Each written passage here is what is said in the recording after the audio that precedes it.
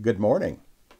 Today is the 8th of June, and we begin our worship this morning with our opening sentence from Psalm 19, verse 14. Let the words of my mouth and the meditation of my heart be always acceptable in your sight, O Lord, my rock and my redeemer. Let us humbly confess our sins to Almighty God. Almighty and most merciful Father, we have erred and strayed from your ways like lost sheep. We have followed too much the devices and desires of our own hearts. We have offended against your holy laws. We have left undone those things which we ought to have done, and we have done those things which we ought not to have done. And apart from your grace, there is no health in us. O Lord, have mercy upon us. Spare all those who confess their faults. Restore all those who are penitent according to your promises, declared to all people in Christ Jesus our Lord. And grant, O most merciful Father, for his sake, that we may now live a godly, righteous, and sober life, to the glory of your holy name. Amen. The Almighty and merciful Lord grant you absolution and remission of all your sins, true repentance, amendment of life, and the grace and consolation of His Holy Spirit. Amen. O Lord, open our lips, and our mouth shall proclaim your praise. O God, make speed to save us. O Lord, make haste to help us. Glory be to the Father, and to the Son, and to the Holy Spirit, as it was in the beginning, is now, and ever shall be, world without end. Amen. Praise the Lord. The Lord's name be praised. Worship the Lord in the beauty of holiness. O come, let us adore him. O come, let us sing unto the Lord. Let us heartily rejoice in the strength of our salvation. Let us come before his presence with thanksgiving, and show ourselves glad in him with psalms. For the Lord is a great God and a great king above all gods. In his hand are all the depths of the earth, and the heights of the hills are his also. The sea is his, for he made it, and his hands prepared the dry land. O come, let us worship and fall down and kneel before the Lord our Maker, for he is our God, and we are the people of his pasture and the sheep of his hand. Worship the Lord in the beauty of holiness. O come, let us adore him. Psalm 92 It is a good thing to give thanks unto the Lord, and to sing praises unto your name, O Most High, to tell of your loving kindness early in the morning, and of your faithfulness in the night season, upon an instrument of ten strings, and upon the lute, with the sound of melody upon the harp. For you, Lord, have made me glad by your deeds, and I will shout for joy because of your handiwork. O Lord, how glorious are your works! Your thoughts are very deep. The dull of heart does not consider this, and the fool does not understand it.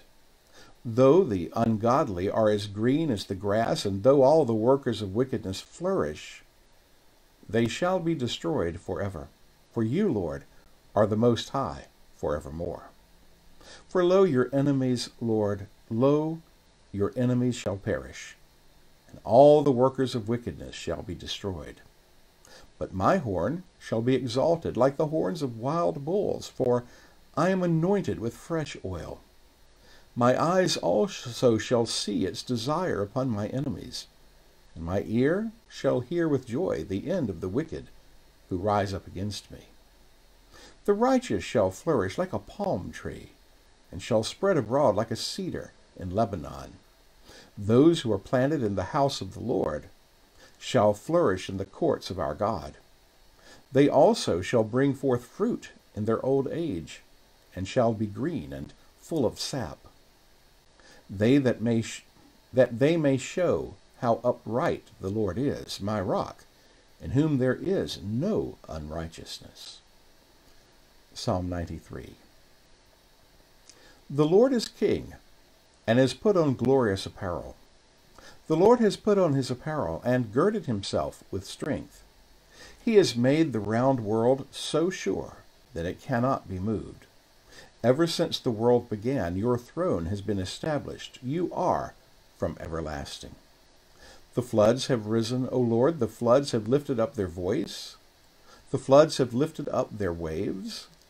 Mightier than the sound of many waters, mightier than the waves of the sea. The Lord who dwells on high is mightier. Your testimonies, O Lord, are very sure. Holiness adorns your house forever.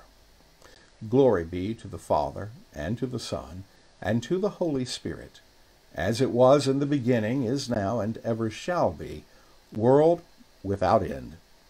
Amen. Our lesson today comes from Joshua chapter 6, and it recalls at the beginning the fall of Jericho.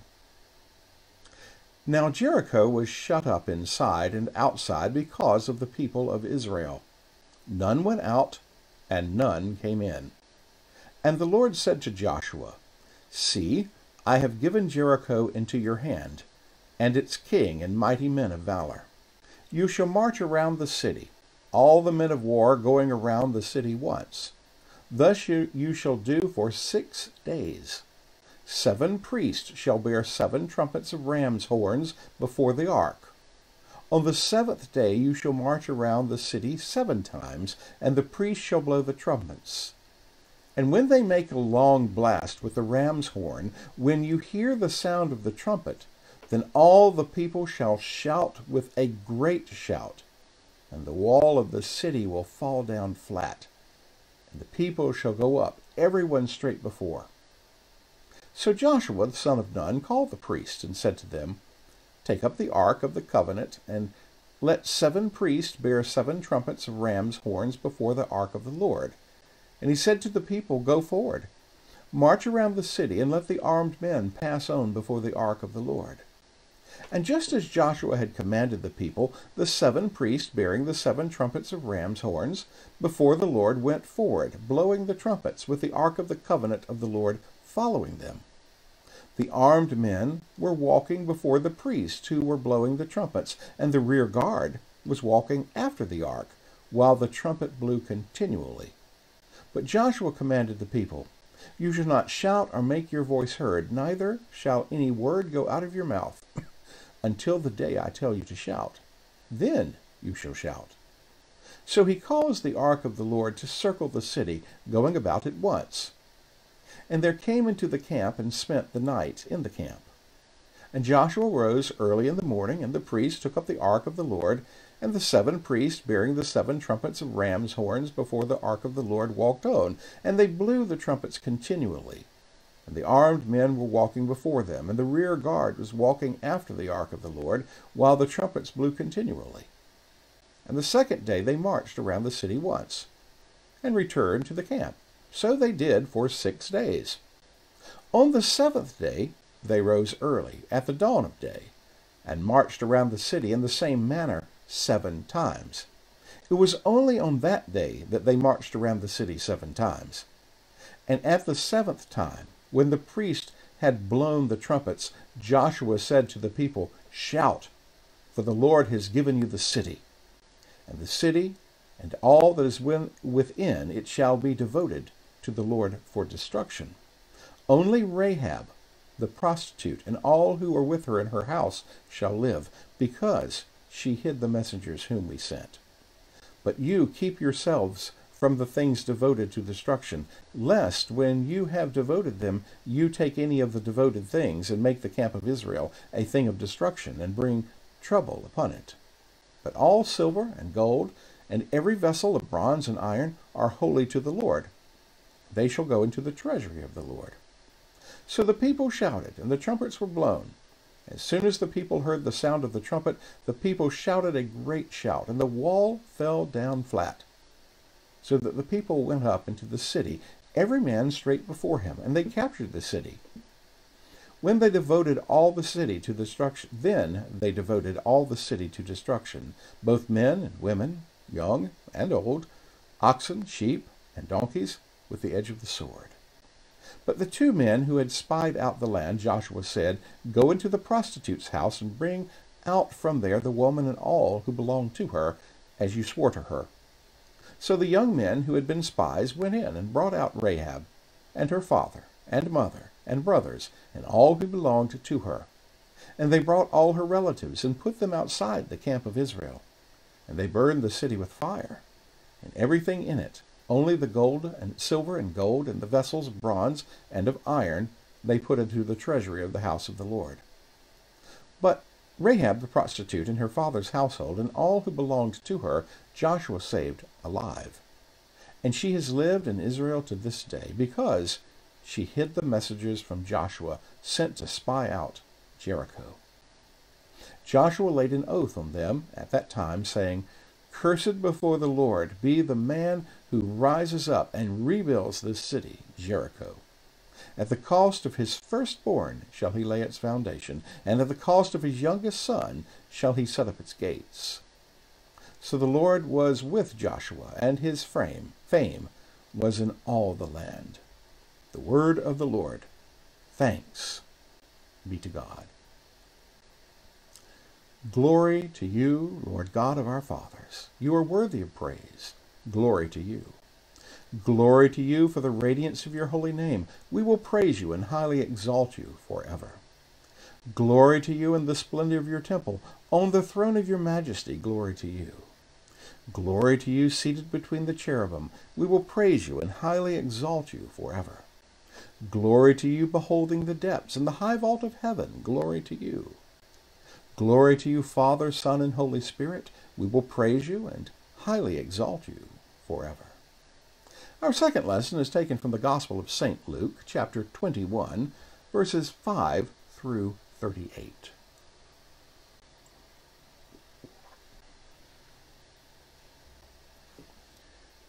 And while some were speaking of the temple, how it was adorned with noble stones and offerings, Jesus said, As for these things that you see, the days will come when there will not be left here one stone upon another that will not have been thrown down.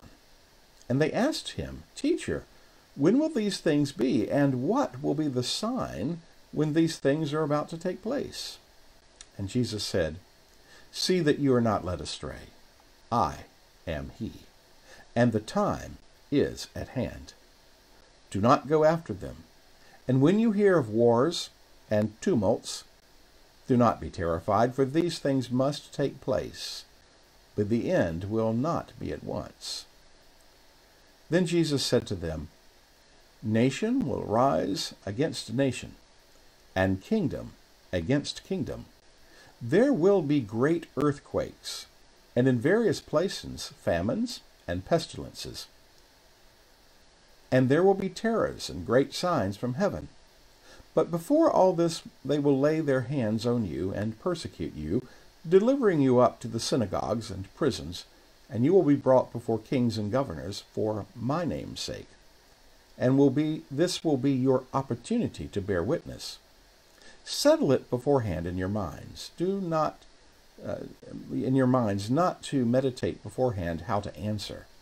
For I will give you a mouth and wisdom which none of your adversaries will be able to withstand or contradict. You will be delivered up even by parents and brothers and relatives and friends, and some of you they will put to death. You will be hated by all for my name's sake, but not a hair of your head will perish. By your endurance you will gain your lives. But when you see Jerusalem surrounded by armies, then know that its desolation has come near. Then let those who are in Judah, Judea flee to the mountains, and let those who are inside the city depart, and let not those who are out of the country enter it. For these are days of vengeance, to fulfill what is written. Alas, for women who are pregnant, and for those who are nursing infants in those days. For there will be great distress upon the earth, and wrath against this people. They will fall by the edge of the sword and be led captive among all nations, and Jerusalem will be trampled underfoot by the Gentiles until the time of the Gentiles are fulfilled. And there will be signs in the sun and moon and stars, and on the earth distress of nations in perplexity because of the roaring of the sea and the waves. people fainting with fear and with foreboding of what is coming on the world. For the powers of heaven, of the heavens, will be shaken. And then they will see the Son of Man coming in a cloud with power and great glory. Now, when these things take, begin to take place, straighten up and raise your heads, because your redemption is drawing near. And Jesus told them a parable. Look at the fig tree and all the trees. As soon as they come in leaf, you see for yourselves, and know that summer is already near. Also, uh, so also when you see these things taking place, you know that the kingdom of God is near. Truly, I say to you, this generation will not pass away until all has taken place. Heaven and earth will pass away, but my words will not pass away. But watch yourselves, lest your hearts be weighed down with dissipation and drunkenness and the cares of this life, and that the day come upon you suddenly like a trap. For it will be it will come upon all who dwell on the face of the earth. But stay awake at all times, praying that you may have strength to escape all these things that are going to take place and stand before the Son of Man. And every day he was teaching in the temple, but at night Jesus went out and lodged on the mount called Olivet. Early in the morning, and all the people came to him in the temple to hear him. The word of the Lord. Thanks be to God. Splendor and honor and kingly power are yours by right, O Lord our God. For you created everything that is, and by your will they were created and have their being. And yours by right, O Lamb that was slain, for with your blood you have redeemed for God, from every family, language, people, and nation, a kingdom of priests to serve our God. And so to him who sits upon the throne, and to Christ the Lamb, be worship and praise, dominion and splendor forever and forevermore. Please join with me in prayer. Come, Holy Spirit, come, and fill us with your presence. Strengthen our walk, our witness, our witness, and our commitment to Jesus as our Savior and Lord, and draw us always closer to the Father. so that as we are his children, adopted through Christ, we may not only receive and bear the blessings of being children of the King, but may share those blessings with others. In Christ's name we pray. Amen. In the Old Testament reading today, we hear, we read the fall of the city of Jericho, that great oasis. Uh, the Israelites passed through, um, and I want you to kind of make this connection. They passed through, the first generation passed through the Red Sea upon dry ground. And then the second generation, the one that's going to actually enter the promised land, because their forefathers lacked faith in God, this second generation crosses the, the Jordan River on dry ground with the water parted and standing on one side so that they can enter. And as they enter, it appears, and as the geography lays out, uh, there's the city of Jericho before them, an oasis. And it's a walled city at that time. And we've been reading about the accounts of the spies sent into the land and to the city and Rahab and the promises she made by sparing the lives of those spies and the promises they made. And here in our lesson today, uh, the promises are kept. And so Rahab and all who are dwelling with her, her mother, her father, her brothers, her family, their lives are spared and they live, are taken out to live amongst the people of Israel, God's chosen ones. And as we see, the city is destroyed and the people are condemned and God um, punishes them their judgment day, if you will, has come. Keep that in mind, especially the, the way that Jericho fell. Uh, those who like Christianity but are always seeking to find a rational reason, rationale uh, for the miracles are, are, you know, tend to be challenged by things like this. How do the waters of the Red Sea, how are they parted? How are the waters of the Jordan stood still so that again, not only did they part, excuse me, not only uh, are they held up, but the Israelites passed not through muddy, not through silt, but on dry land, dry ground to the other side. How is it that a great military victory is accomplished without anything but walking around in circles and circling it, blowing trumpets, and then finally shouting? And the walls of Jericho fall to the ground from a shout many uh, archaeologists and the like have, eh, you know, eh, checked out the walls of Jericho, and they see that they've fallen at times and they've been rebuilt, and they've fallen at times and they've been rebuilt, and there's evidence of fire. There's evidence of the human warfare. Jericho is a very old city, and it exists today. So here's the thing. When we try to explain through the might of man, our armies, our might, what we did.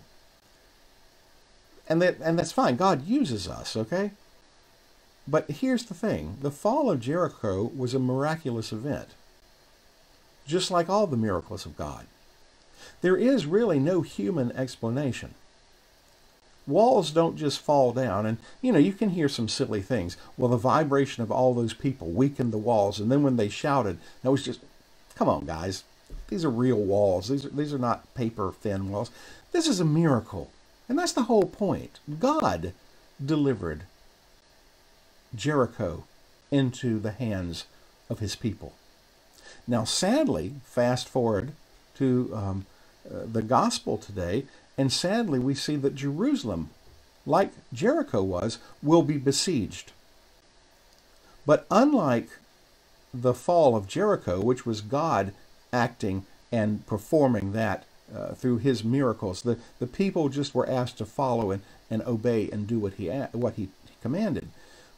But it, Jerusalem in 70 AD was laid siege by the Romans. And they did it the, if you will, the old-fashioned human way. And they laid siege and they starved the city and eventually they were able to breach the walls and the gates and come in and slaughter the people there. And literally, as Jesus had predicted, nothing of the temple is, is left standing. Only, only, if you will, the supporting walls of the Temple Mount, what today we call the Western Wall, or some call the the Wailing Wall. Now, that being said, there's also the other walls of the Temple Mount on the other side, which is where the Golden Gate still remains. But the temple itself, gone and in its place today is the shrine, um, uh, the um, uh, Muslim Islamic shrine, the Dome of the Rock, which is not the temple. so, two things in Jesus' prophecy. He talks about the time coming for the destruction of Jerusalem. He's also talking about end times. And, and you see that. You know, there's one generation that will not pass away, but then he expands the teaching so that, as is often the case, um, there's the end times when the Son of Man will come again, uh, as as uh, you know, we, we we are expecting. He hasn't returned yet in that sense. Yes, he's been resurrected. Yes, he came for the resurrection. But if we're looking for the second coming, that's what we're still anticipating and looking forward to. Uh, and in the meantime, and this is the thing you've heard me sort of talk about this before. In the meantime, let us not spend time trying to predict when he's coming. As if that will make any difference, as if we can force him to come or if we can delay him to come. And then what good is that knowledge if it's not put to life application? And the truth of the matter is, when Jesus is asked about this, he says, nobody knows.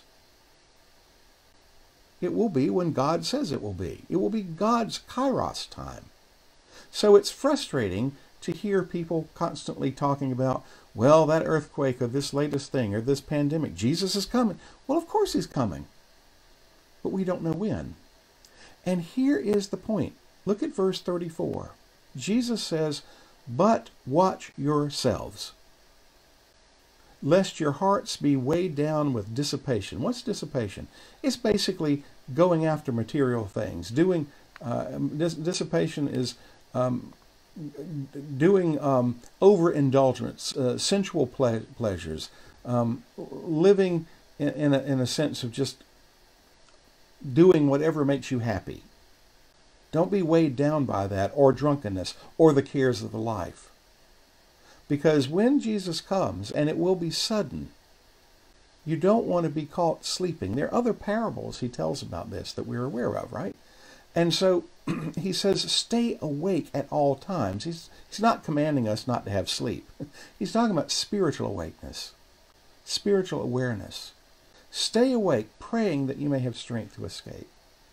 Praying that when Jesus comes again, when troubles fall, that he will deliver us. So there's a double teaching in all of this. But the bottom line is, and you've heard me say this before, it's the sort of Boy Scout motto, be prepared. And then we have nothing to fear.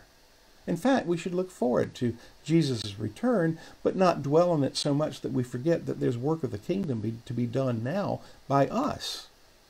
One is the invitation for everyone to come to Jesus as their Savior and Lord. And there are various ways of doing that. One is just the frank, honest statement. You know, come and see. Come and check out Jesus. Let me share what he's done for me. There's that personal witness. But there's also the, the good works that reveal the kingdom life. And someone says, why do you do that? Because Everything I have is a gift from God. Because I've received the grace and love of Jesus Christ, I pass it on. You see, the good deeds we do, we do to the credit of God and to the credit of Christ. And it needs to be by the, to the credit of Christ. Because otherwise, remember we've talked about this, God is too vague of a term. There are many gods and many people who claim to worship God. And that's great for them, you know, as far as that goes. But the God that we worship, again, Trinity Sunday, the God we worship is one God and three persons, and salvation comes only through the second person. We have to accept Jesus as our Savior and Lord. There is no other way to the Father but through the Son. So to deny the Son is to deny the Father, and therefore to cut oneself off from salvation. And the other religions will, you know, talk about karma and things coming back to get you and to bite you for your behavior. Okay, what's that? We, are dull people. That just means that we have the spiraling cycle of, of, of messing up and, and being punished for it. Or the one of God is an angry, wrathful God and he expects things out of us that we cannot bear. And uh, so we better try to figure out some way to make him happy. That's not, that's not Christianity. Christianity is that God is Quite frankly, God loves us even while we're sinners. He sent his Son, Jesus, to die on the cross to save us. The gift of salvation, the gift of daughter of the King and son of the King is given as faith in Jesus. We don't earn it. It's a gift. And once we receive the gift, we open it and then we share it. It's like sending a whole bunch of chocolate to somebody, and and when they, you know, you can get the, the box of chocolate, but if you never open it, you've gotten it, but you're not enjoy it, enjoying it. But if you open it and there's too much for one person, you share it, and then you have fellowship and you have thanks and you give credit to the one who sent you the gift. And in this case, I'm using the illustration for God sending His beloved Son. So you see, Christianity is unique because God the Father, God the Son, and God the Holy Spirit. There is no other. He will have no other gods but him. And so this is not a little secret for us. Christianity has been described as one beggar, a starving person, one beggar telling the other beggars, there's food over there and it never gives out. And there's no charge. There's no financial charge. There's no sexual favors that have to be paid. There's no cost except the cost of coming and receiving. And then we're told to go share it, this news with others. And you know, to this day, there's a code amongst the homeless people. and they will they will put signs, little symbols and so forth that says these people are kind. They'll help us. These people are abusive. Stay away. What if the beggars judge us for Christ? You see what I'm saying? Don't get confused with Christology. Jesus comes again. But I'm just simply saying, in our life application, what if the people we meet judge us? They're witnesses called. Now, here's the thing we believe in Christ, we're saved. We don't need to fear Judgment Day. But what if, you know, our, our, our lives, our witnesses, is our witness in a sense. Our words count. They absolutely do. They're necessary. But it goes together. And faith is the same way. If you believe in Jesus as your Savior and Lord, you're going to act like it. And that's going to be very different in the world.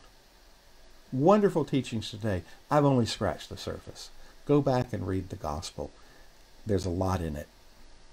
Let's continue now with the Apostles' Creed. I believe in God, the Father Almighty, creator of heaven and earth.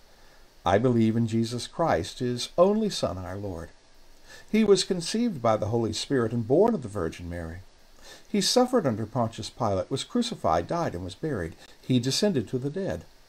On the third day he rose again, he ascended into heaven, and is seated at the right hand of the Father. He will come again to judge the living and the dead. I believe in the Holy Spirit, the Holy Catholic Church, the communion of saints, the forgiveness of sins, the resurrection of the body, and the life everlasting. Amen. The Lord be with you, and with your spirit. Let us pray. Lord, have mercy upon us. Christ, have mercy upon us. Lord, have mercy upon us. Our Father, who art in heaven, hallowed be thy name. Thy kingdom come, thy will be done, on earth as it is in heaven. Give us this day our daily bread and forgive us our trespasses as we forgive those who trespass against us. And lead us not into temptation, but deliver us from evil. For thine is the kingdom, and the power, and the glory for ever and ever. Amen. O Lord, show your mercy upon us, and grant us your salvation. O Lord, guide those who govern us and lead us in the way of justice and truth. Clothe your ministers with righteousness and let your people sing with joy. O Lord, save your people and bless your inheritance. Give peace in our time, O Lord, and defend us by your mighty power. Let not the needy, O Lord, be forgotten, nor the hope of the poor be taken away. Create in us clean hearts, O God, and take not your Holy Spirit from us. our collect of the day, which comes from the previous Sunday, and in this case, it's the the second Sunday after Pentecost, and uh, and also proper five, if you're looking for that in the prayer book. Um, the seasons after Pentecost, after Trinity, are broken down into pro- what's the the weeks are broken down in what's called propers, and so we're in proper five. Grant, O Lord, that the course of this world may be so peaceably ordered by your providence, that your church may joyfully serve you in quiet confidence and godly peace, through Jesus Christ our Lord, who lives and reigns with you and the Holy Spirit, one God, for ever and ever. Amen. Today we also commemorate Thomas Ken, who was Bishop of Bath and Wells. That's in England. He was a non-juror, 11, excuse me, 1711. that means he did not sign the oath um, uh, of allegiance, and therefore uh, he lost his, uh, his see. O God, our Heavenly Father, you raised up your faithful servant Thomas Ken to be a bishop and pastor in your church and to feed your flock. Give abundantly to all pastors the gifts of your Holy Spirit, that they may minister in your household as true servants of Christ and stewards of your divine mysteries. Through Jesus Christ our Lord, who lives and reigns with you in the Holy Spirit, one God, forever and ever. Amen.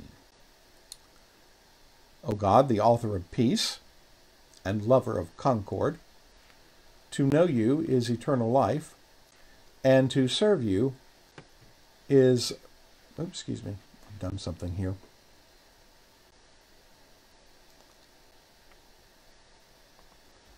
Sorry. Clicked on the wrong button. O God, the author of peace and lover of concord, to know you is eternal life and to serve you is perfect freedom. Defend us, your humble servants, in all assaults of our enemies, that we, surely trusting in your defense, may not fear the power of any adversaries through the might of Jesus Christ our Lord. Amen. Almighty and everlasting God, who alone works great marvels, send down upon our clergy and the congregations committed to their charge the life-giving spirit of your grace. Shower them with the continual dew of your blessing, and ignite in them a zealous love of your gospel through Jesus Christ our Lord. Amen.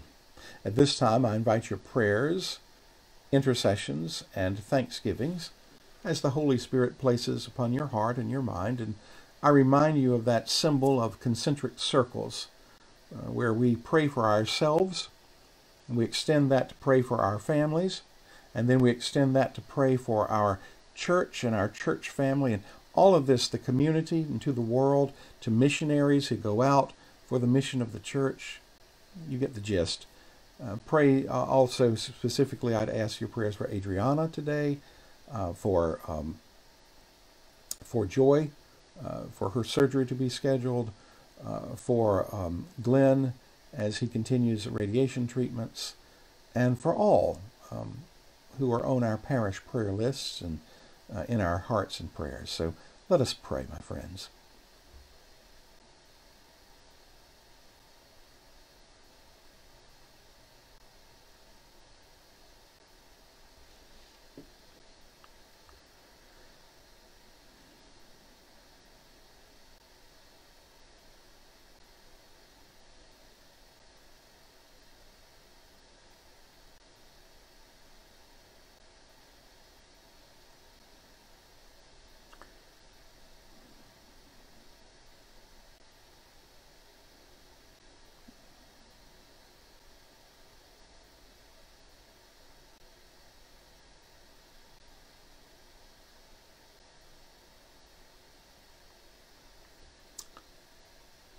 Please join with me now in the general thanksgiving.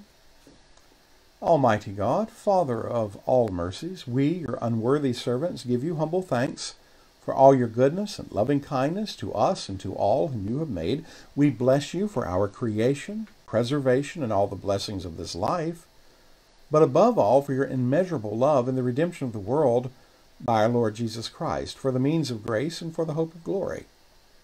And we pray, give us such an awareness of your mercies that with truly thankful hearts we may show forth your praise, not only with our lips, but in our lives, by giving up ourselves to your service and by walking before you in holiness and righteousness all our days.